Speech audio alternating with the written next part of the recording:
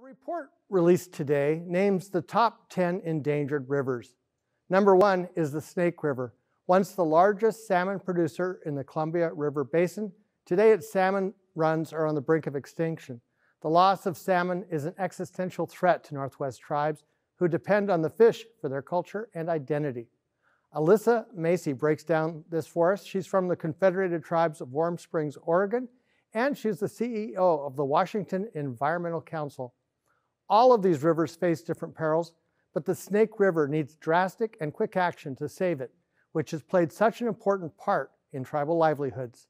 Welcome, Alyssa. Hello, great to be here today with you.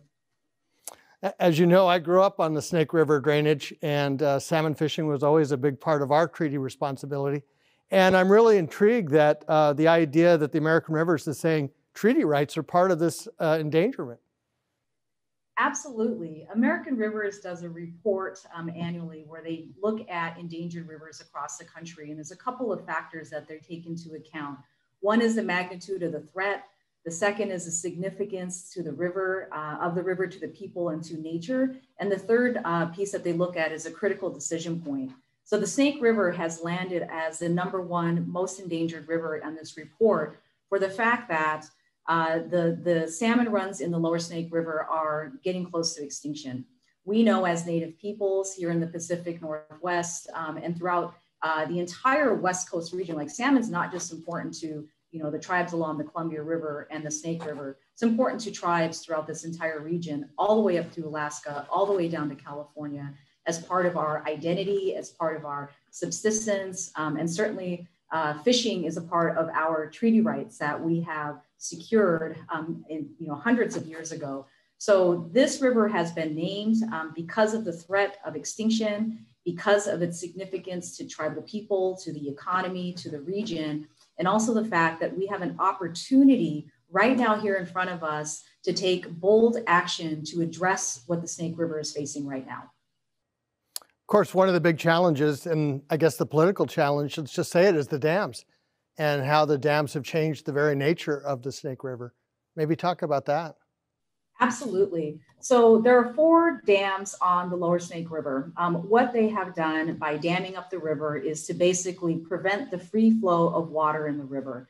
Salmon need to go upriver to spawn. They need to be able to travel. Um, there has been millions and millions and millions of dollars spent on fish passage, ways for fish to sort of get around these uh, dams that are, that are along the river. It has not been successful. Salmon numbers continue to decline. So what we are looking at now is really how do we address this particular issue? What happens to the water that backs up behind the rivers? Well, it gets warmer. That is not something that helps salmon. Um, it also increases the chance of things like algae growing. It, it changes the temperature. It changes the, the ability for fish to really be successful in, in returning and spawning and, and being a part of the ecosystem in the way that they are. So what we're looking to do and a part of uh, proposing along with Representative Simpson from Idaho is to look for a comprehensive solution to this issue. This includes a serious conversation about breaching or removing the four dams on the lower Snake River. And really what we're talking about here is perhaps a little bit of break in energy costs, but really it's barging and farmers taking stuff to market that could go a lot of other ways, is it not? Yeah, it is. This, you know, I think where folks get afraid is when we talk about breaching a dam or removing a dam, that kind of gets everybody's attention, right? Uh, Representative Simpson has put forward a $33.5 billion proposal that doesn't just look at the removal of the dams. This also looks at how do we replace the energy that is being uh, uh, generated by these dams. So what is the alternative energy source that we have to create? So this is a really exciting opportunity to, to basically um, invest in energy uh, that's produced in the region, to look at the ways that we do commerce in the region, like how will goods get to port? That's a big piece of it. How does agriculture play into this? How does recreation and tourism play into this? So his proposal is not just looking at one piece, it's a comprehensive proposal to look at everything that salmon touches. Um, and, and I think this is a, an, an issue where we say Tri-Cities, you know, Idaho, Eastern Washington, Um, but really, it touches on issues here in the Puget Sound area because, as you know, one of the things that we we talk about a lot here in the Pacific Northwest and in, in particular the Puget Sound areas, the orcas. And we, there's so many campaigns about saving the orcas. Yes, and if you want to save the orcas, we need to talk about salmon. Uh, and you mentioned the sports fishery. I remember um, a few years ago driving to Riggins, Idaho, and uh, when I was a kid, you'd see bumper stickers like coal is providing dollars and jobs. And yet now when you go through Riggins, Idaho, you see a bumper sticker that says this job is saved by salmon because um, the industry has become something where people around the world know it and go there for that. Absolutely. Recreational fishing um, is a huge thing in the Pacific Northwest, and salmon are a crucial component of that. Uh, American Rivers reported that in the Pacific Northwest, um, recreational fishing and tourism generates more than $5.3 billion a year in economic development and also uh, accounts for 36,000 jobs. So this isn't just about you know saving fish. This is about saving an important piece of the Pacific Northwest identity um, and a very important economic piece for many communities in uh, the eastern part of Washington and in Idaho that don't have a lot of opportunity for economic development. I live in Central Oregon. Um, you know, I sort of grew up. Uh, that's where my community is from. Recreational fishing along the Deschutes River is a huge thing. It's a huge thing. People come from all over the world to fish along that river. Similarly, they do the same thing along the Snake. So why, when we talk about saving the salmon, we're also talking about saving that important piece of our economy. We think of the modern environmental movement, and it's largely been a white organization and your appointment, I think, but also the conversations in environmentalism about how diversity is critical to getting this right. And I just want to hear your thoughts on that. Yeah, I came here um, before I was uh, here at Washington Environmental Council, Washington Conservation Voters. I served as the COO for my nation in Central Oregon.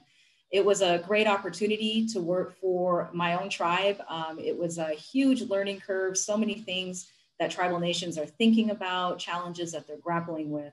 One of the things that I that I have felt my whole life is the place where you see treaty rights exercised the most is when it comes to our natural resources, lands, territories, and resources, and Indian child welfare. Um, I have been drawn to the work here at Washington Environmental Council for a couple of reasons. One, um, both organizations have over 80 years of experience working here in the state of Washington done some really great work, have also done some things that have not included um, all of the stakeholders and certainly tribal nations in the past. I came here also because there was a journey that this organization has been on, a racial equity journey, some commitments that have been made, and some work that had been previously done. So when I decided to, to come here, I felt like it was safe enough, that there was enough progress uh, being made. There was a very strong foundation and I felt like this was a place where I could do some good work. One of the things that I've learned um, very quickly uh, in the past year is there's a lot of opportunity for environmental organizations um, like the one that I'm currently working for um, and the environmental justice community to do a better job of working with tribal nations. I do see a lot of reference to the term BIPOC. Um, I think that term is very problematic because of the I. Um, the I assumes a lot of different things. Indigenous peoples, yes. Tribal nations, yes. So how do we actually engage with tribal nations that are respectful um, and, and ways that we can really turn the tide?